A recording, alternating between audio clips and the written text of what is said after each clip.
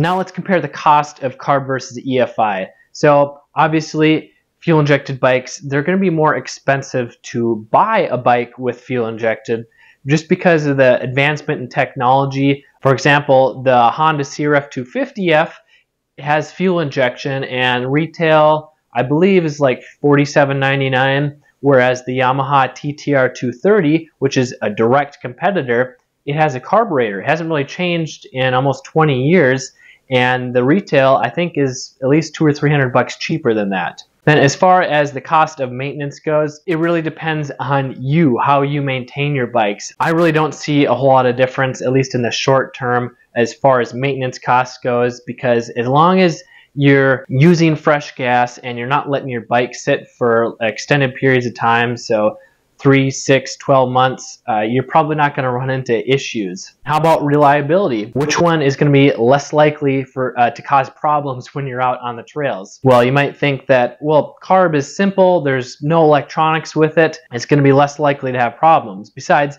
I've heard of rumors of fuel injected bikes having the fuel filter get plugged or just random electrical issues. But in actuality, those are few and far between. And if there were major problems, pretty much all the brands or the companies have figured those out in the first years of the fuel injected dirt bikes. They're all pretty much reliable now. And as long as, like I said, you're using fresh gas and not letting your bike sit. And if you're not making modifications to your bike, if you're keeping your bike stock, that's going to be the most reliable bike you can own and ride. Once people start uh, filling with their bike, making changes, that's when reliability goes down. But that's a topic for another video. And then what about maintenance? Now, I briefly covered this, but what does it actually take to maintain a carb or EFI bike? Well, if you're riding a bike every month and you're using fresh gas, you're not letting your bike sit for long periods of time, there's probably not going to be a whole lot of maintenance to do. But if you're using poor quality gas, uh, gas that's old uh, or it has ethanol in it,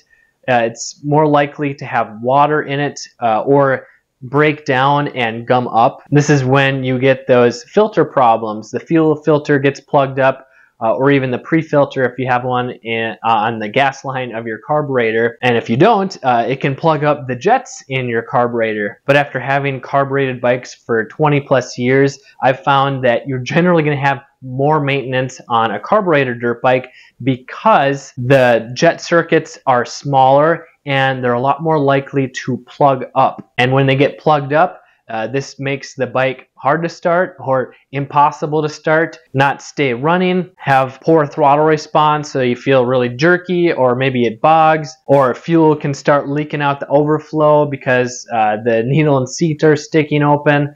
Uh, these are just problems that you don't really have with fuel injection. Like if you sit a carbureted bike sit for a year, it might take 10, 20, 30 kicks to get started. You might have to clean the carb to get it to run perfect. Whereas a fuel injected bike, if you let it sit for a year and as long as the battery is fully charged, it's probably going to start up just the same as when you put it away. So, what do you prefer, carb or fuel injection? I know that you might have a different opinion than me, but after explaining the differences and pros and cons of each, which do you prefer? Let me know in the comments below. I'm Kelley Fager from Motocross Hideout. Learn more, ride more.